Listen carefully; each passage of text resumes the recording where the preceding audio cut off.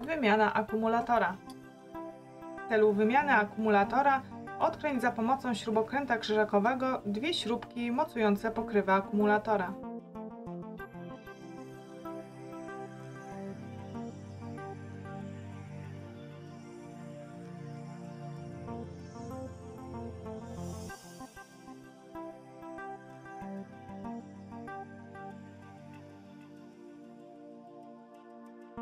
Wyjmij akumulator, chwytając go za taśmę.